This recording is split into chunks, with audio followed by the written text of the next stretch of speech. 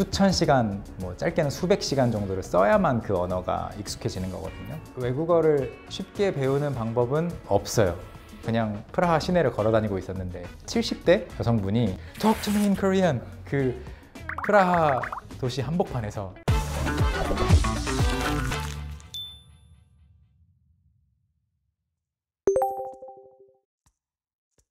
네, 안녕하세요. 저는 고려대학교 불어불문학과 구구학번 선현우라고 합니다. Talk to me in Korean 이라고 하는 채널을 운영하고 있고요. 외국인이면 영어로만 말을 할 수 있을 것 같다라는 생각에 많은 분들이 외국 분들에게 한국어를 연습할 기회를 안 줬었거든요. 그래서 그 마음을 표현해서 한국어 배웠으니까 한국어로 말해주세요. Talk to me in Korean입니다. 동아리도 가입해서 활동했던 취미가 b-boying이라고 바닥에서 빙글빙글 돌고 덤블링하고 그런 춤이 있잖아요. 모니터링 하려고 영상을 많이 찍어봤는데 어딘가에 올려놓자 해서 유튜브라고 하는 거기에 올리기 시작한 게 계기였고 저로서는 굉장히 자연스러운 흐름이었어요. 관심사를 파고 파고 들다 보니까 영상도 만들 수 있게 되고 뭔가 웹사이트도 만들 수 있게 되고 외국어도 좋아했고 한국을 좀 알려주는 것이 재밌더라고요. 그런 것들을 다 모아서 하나로 합친 것이 지금의 웹사이트 유튜브 채널입니다. 거의 15년 동안 점진적으로 이렇게 올라갔어요. 일직선을 그리면서 뿌듯함이 크죠. 도시든 시골이든 아니면 프랑스 뭐 파리, 어디 멕시코, 필리핀에 있는 학생들 생각해보면 공부를 하고자 했을 때 검색하면 나와 주는 저희가 그런 존재가 된다는 것 자체가 아주 뿌듯한 그런 기분이 듭니다 태도 차이라든지 제가 느끼는 보람이 한국어 교육 쪽이 훨씬 컸던 것 같아요. 예를 들어 영어에서 but, however 이런 게 있으면 둘 다 그러나 하고 외우고 말잖아요. 그런 데를 배웠다가 그렇지만을 듣잖아요? 그러면 바로 코멘트가 달려요. 그런데랑 그렇지만이 둘 다 but인데 도대체 차이가 뭡니까? 순수하게 궁금한 거죠. 이제와 지금의 차이가 무엇인지 둘 다 now로 번역이 되는 거예요. 그럼 저는 이제 지금은 now고 이제는 뭐 transitional now다. and now 외국 분들이 한국어를 배울 때에는 배고파 라는 말 한마디만 배워도 너무나 만족스러워 하세요. 이걸 어디에 써먹지? 일기장에 써보고 소셜미디어에 올리고 캡션으로 굉장히 순수하게 기뻐하는 것을 많이 봐요. 대부분의 캐주얼한 학습자들은 자기가 배운 것을 굉장히 기뻐한다. 국내 영어 학습자들에게서는 볼 수 없는 모습이라고 생각합니다. 사실 한글이 세계에서 가장 배우기 쉬운 문자 체계는 맞아요. 우리가 알파벳을 어렸을 때부터 봐서 그렇지 전혀 모르는 누군가에게 한시간 안에 A부터 Z까지 외워라.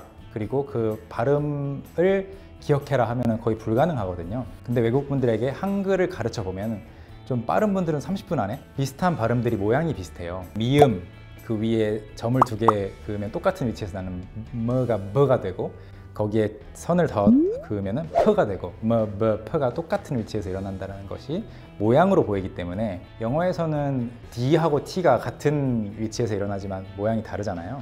한글이 배우기 쉽다더라라는 소문을 많이 듣고 사람들이 도전을 해보는데 그 소문보다 더 쉬운 거예요. 그래서 굉장히 재밌다고들 많이 이야기를 합니다 재능의 영역이다라고 말할 수 있고 저도 개인적으로 그걸 가지고 있다라고 말할 수 있는 영역이 뭐냐면 소리 구분 능력은 좀 타고나는 게 있는 것 같아요. 아 이 소리랑 이 소리가 좀 미묘하게 달라. 성대모사 잘하시는 분들이라든지 아니면 가수분들 중에서도 모창을 잘하시는 분들은 약간 그 타고난 그런 것이 있거든요. 소리 구분 능력이 뛰어나면 유리하긴 해요. 근데 그거는 초반에 그냥 한두 마디 배워봤는데 발음을 잘한다 이럴 때 이야기고 나머지 한 99%의 과정은 다 똑같아요. 수천 시간, 뭐 짧게는 수백 시간 정도를 써야만 그 언어가 익숙해지는 거거든요. 우리는 대부분 고민하면서 어떤 행동들을 하고 있는가 보면 하루에 5분, 10분밖에 공부 못해요. 만약에 공부를 하고 싶은데 책이 눈에 잘 안 들어와요. 그럼 책을 잘못 고른 거예요. 넷플릭스 뭔가 방송을 틀었는데 어 별로 말소리도 안 나오고 뭐 그러네? 그럼 다른 걸 봐야 되고 긴 시간 하루에 3시간 공부하려면 어떤 걸로 채워야 될까? 라는 것만 잘 고민해서 채우기만 하면 거의 성공하는 것 같아요. 외국어를 쉽게 배우는 방법은 없어요. 근육을 찢어서 키우는 것처럼 헬스 하는 것처럼 어렵고 괴롭고 지루할 수밖에 없는데 헬스장 가서 무거운 거 들고 나서 다음날 거울 봤을 때 그 기쁜 것처럼 그 과정인데 자동으로 잘 하게 되어 있는가 하면 그건 아닌 것 같아요 국내에서는 영어만 누가 잘해도 굉장히 똑똑하다라는 라벨을 붙여버리고 와 나는 저기를 따라갈 수 없을 거야 라는 생각을 갖게 되는데 유럽 같은 경우에는 엄마가 독일인 아빠가 러시아인 그랬는데 스페인에서 태어났다든지 학교에선 또 영어를 쓰기도 하고 해서 네개 정도는 많이들 하시거든요. 처음에는 저도 영어를 배운 다음에 프랑스어를 전공하면서 불어를 배웠을 때 어나세 개의 언어를 말할 수 있어. 한국어 영어 불어. 대단하고 특출난 줄 알았어요. 처음 유럽에 가봤을 때 주변에 뭐한 다섯 개 여섯 개 하는 사람도 많고 봄에 체코 프라하에서 열리는 재미있는 행사에 다녀왔는데 언어를 굉장히 좋아하는 사람들이 전 세계에서 날아와서 모이는 교류하는 그런 자리였어요 이름 출신 국가, 그 다음에 자기가 구사할 수 있는 언어를 순서대로 쭉 해놓는데 제 명찰에는 여섯 개 언어밖에 안 써 있는데 악수를 한 상대방의 명찰에는 한 20개의 국기가 있는 거예요. 여기는 15개, 여기는 10개, 여기는 너무 많아서 자리가 부족해서 그냥 눈동자를 붙여놓으신 분도 있어요. 아, 그래. 세상은 넓고 어, 언어라는 것이 뭔가 서로 비교하고 IQ 테스트로 여길 것이 아니라 그냥 재미있게 계속 배우면 좋은 관심과 실용성의 도구다라는 것을 많이 느끼고 왔습니다.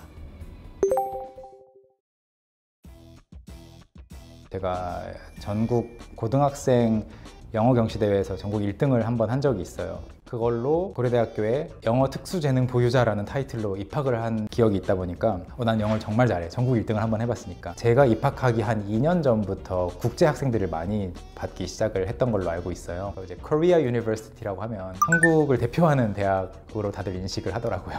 I'm from Korea. I go to Korea University 하니까 다른 나라에서 유학 온 학생들과 대화를 해보니까 제가 너무 영어는 할 줄 아는데 현지 문화 아무것도 모르고 아 나는 좁은 세상 속에 있었다. 군대 갔다 와서 빨리 돈 모아서 해외를 한번 여행을 가봐야겠다. 저는 사실 해외여행을 처음으로 가본 게 27살 때여서 굉장히 남들보다 늦었어요. 그때 가보고 깨달았죠. 아, 훨씬 일찍 나왔어야 되는데. 일 때문에 잠깐 일본에 갔을 때 커피숍에 갔는데 전혀 말이 안 통해서 굉장히 창피했던 기억이 있어요. 돌아오자마자 1년 동안 공부해서 다음에 가서는 다 일본어로 주문을 어려움을 겪거나 아니면 가서 와 하는 그런 기분을 겪고 나면 나중에 공부를 탐험을 더 열심히 하게 되더라고요. 그래서 많이 나가는 걸 추천하고요. 만약 딱 한 군데를 가서 가장 최대의 영감을 얻고 싶다? 그러면 저는 유럽인 것 같아요